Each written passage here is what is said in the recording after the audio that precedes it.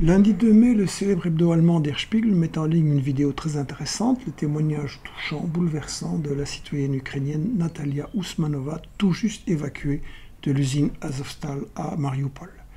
Alors, le jeudi 5, euh, Der Spiegel retire la vidéo et le texte ici explique que euh, il déclare avoir trouvé des incohérences dans le contenu. Il ne précise pas ce qui était incohérent, mais promet de publier de nouvelles informations. Or, à ce jour, il n'y a eu aucune communication et la vidéo est toujours censurée. Pourquoi?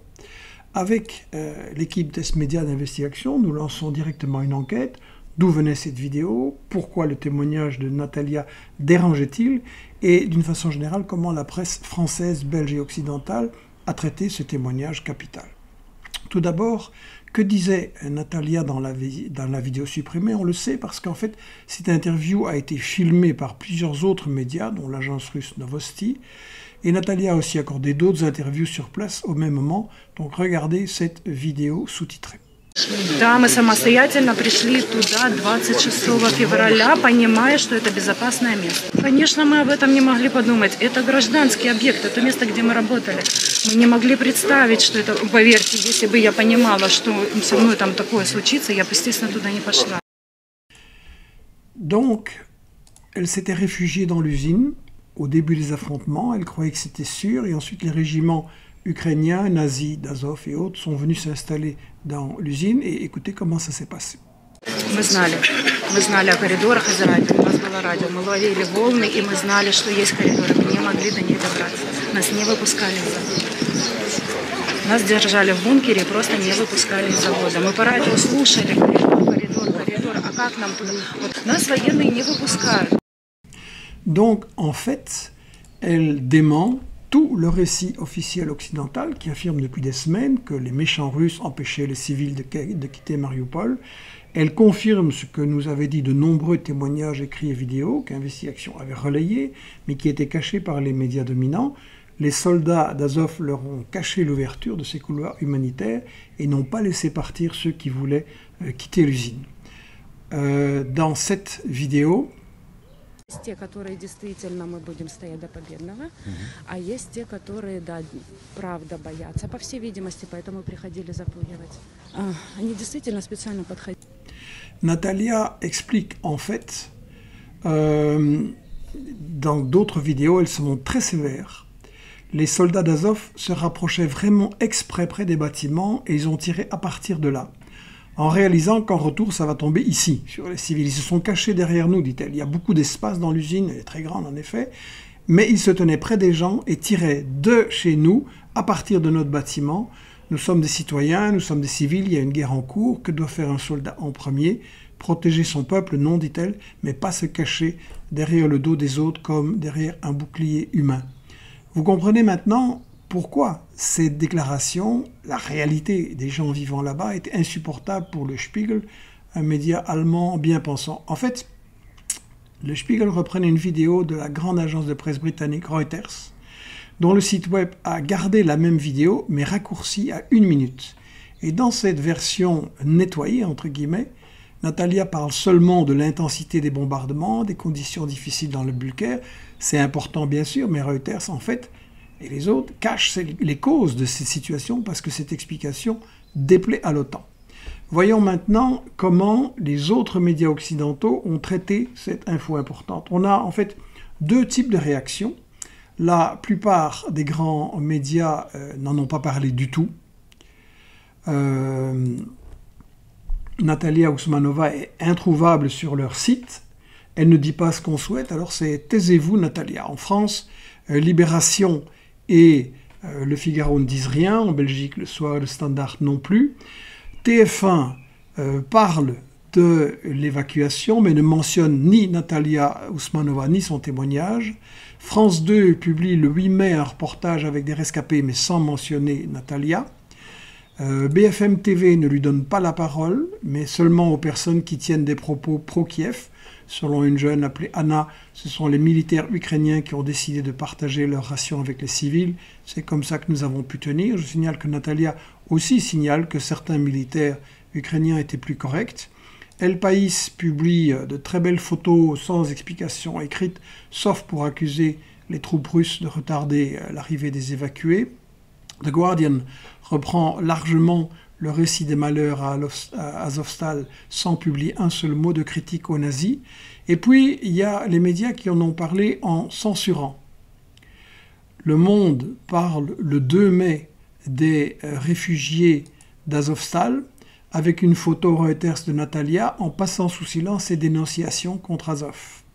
En Belgique, la, Libre et euh, la DH, dernière heure, c'est le même groupe en fait, ont ici une triple manipulation. Un, aucune mention de sa critique envers le régime ukrainien et euh, les groupes nazis.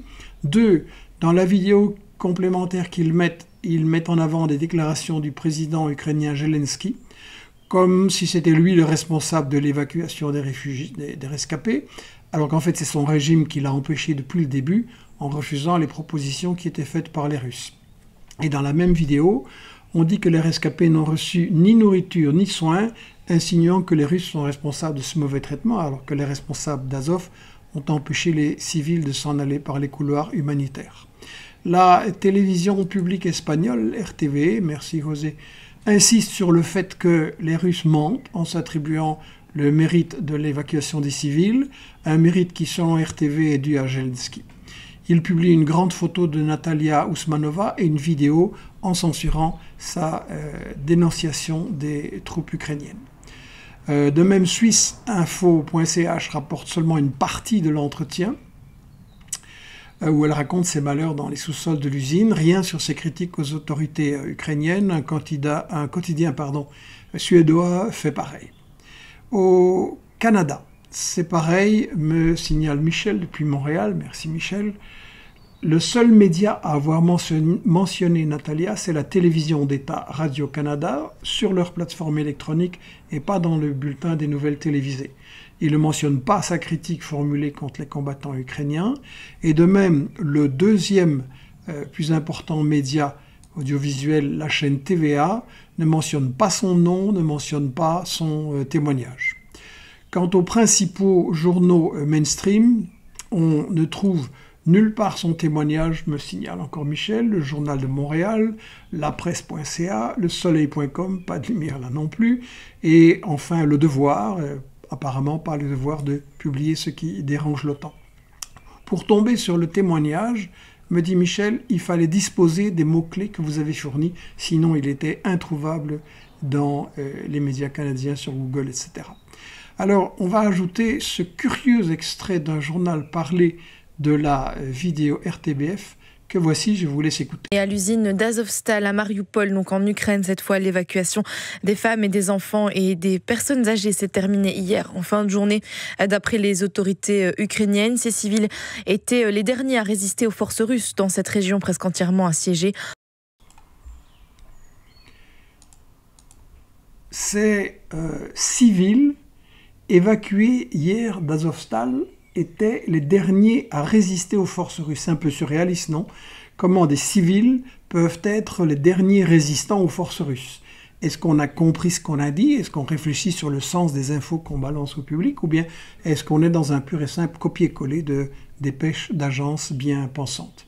Alors, quelle leçon maintenant tirer de tout ceci? La presse occidentale se vante d'être la plus démocratique au monde car elle seule respecterait le pluralisme et présenterait diverses opinions pour permettre aux citoyens de choisir. Mais on constate qu'en réalité, tous les médias européens soit censurent complètement le témoignage de Natalia, soit ne reprennent que la partie sans danger, combien c'était dur de vivre là-bas, évidemment, mais en cachant ses critiques aux forces ukrainiennes et la cause de cette situation.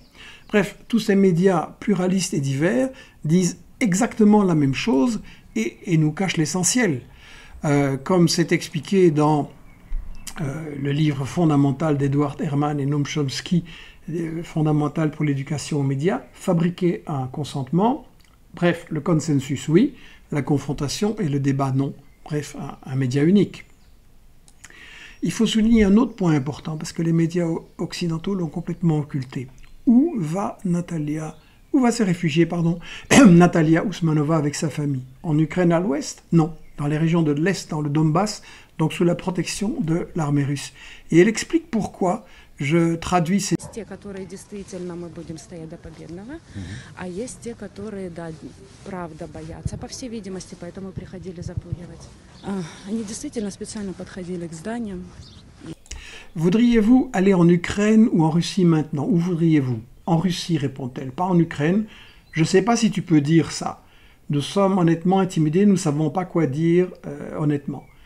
Le journaliste répond, vous pouvez dire ce que vous voulez. Je ne veux pas aller en Ukraine, honnêtement.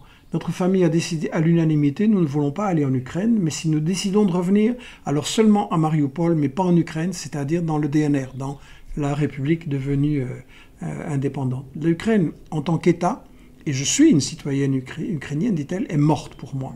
Avec tous ces politiciens, tous ces gens qui nous ont fait ça. Parce que, eh bien, je pense que c'est de leur faute, dit-elle, s'ils n'ont pas trouvé un accord, n'est-ce pas? Ils n'ont pas résolu pacifiquement ce conflit dès le début. Le maire est parti, il a quitté la ville, les gens, les habitants ont été encerclés, l'armée ukrainienne était présente, dit-elle, et elle n'a pas laissé passer les simples gens, c'est-à-dire la population ordinaire, les enfants, les personnes âgées, les malades. La question, dit Natalia, c'est pourquoi Pour quel but Pour quelle raison? Voilà, donc l'Ukraine est morte pour moi en tant qu'État, dit Nathalie à la fin de son témoignage, et ça, ça contredit totalement le discours officiel qui présente les Ukrainiens comme tous d'accord avec Zelensky pour l'Occident et contre les Russes. En réalité, la nation ukrainienne est profondément divisée depuis longtemps, et particulièrement depuis le coup d'État violent de 2014, qui a massacré les opposants, assassiné des dizaines de personnes russophones dans la maison des syndicats à Odessa et ailleurs, et bombardé pendant des années les provinces de l'Est que nos médias occidentaux occultent depuis le début du conflit. Oui, les troupes, de Kiev ont bombardé les populations civiles du Donbass depuis 2015 et plus fort encore en janvier-février 2022, avant l'intervention russe, et on ne comprend rien au conflit actuel si on cache cela. Si on veut comprendre l'Ukraine, il faut donc arrêter avec ce mythe d'un peuple uni et homogène et constater cette division profonde. Nous avons expliqué ça dans les émissions Michel Midi avec Annie euh, Lacroix-Ris et euh, Bernard Genet. Il est temps de sortir des clichés de la propagande et de l'image western simpliste. Regardez aussi euh, l'émission euh, Michel Midi avec Colette Brackman, une courageuse journaliste d'un grand quotidien belge qui appelle à oser aller à contre-courant et à débattre entre les diverses formes de, de journalisme. C'est la seule façon d'aller à d'œuvrer à la paix et à la réconciliation, c'est de reconnaître ce qui s'est passé, de reconnaître ce qui a été commis par les groupes nazis et les dirigeants de Kiev, qui ne sont pas eux-mêmes des nazis, mais qui les ont utilisés systématiquement pour étouffer la contestation sociale. En fait, pour imposer en force le- leurs intérêts d'oligarques, et c'est ça que Bernard Genet montrait bien, ils ont plongé la majorité des Ukrainiens dans la pauvreté, ils sont incapables de développer une économie prospère, Surtout qu'ils planquent tous leurs milliards dans les paradis offshore, comme Zelensky lui-même, qui a planqué son argent là-bas, ce que la presse occidentale sait parfaitement, mais se garde bien de répéter. La vérité, sans censure, c'est la seule façon d'aider les Ukrainiens et de donner une chance à ce témoignage très émouvant de Natalia, là aussi censuré par les médias occidentaux, quand elle dit euh, Je veux élever mes enfants, leur donner un avenir, un ciel de paix au-dessus de leur tête. Je ne veux plus que les obus volent. Je veux aller quelque part au bout du monde, là où les obus ne voleront plus jamais, pour que nous ne le voyions ni ne l'entendions. C'est mon seul rêve. Nous avons des bras et des jambes, nous allons construire une maison et acheter une nouvelle voiture, nous pourrons tout faire. Ça, c'est une interview qui est uniquement euh, dans sa langue et donc elle a été traduite par une amie que je remercie beaucoup. Dans un prochain média mensonge du jour, je vous montrerai que les médias occidentaux censurent non seulement une obscure citoyenne ukrainienne, mais aussi une des personnalités euh, occidentales les plus célèbres et les plus médiatisées.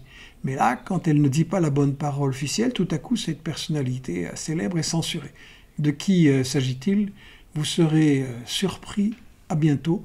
Et n'oubliez pas de nous soutenir pour renforcer l'info indépendante. Merci. À bientôt.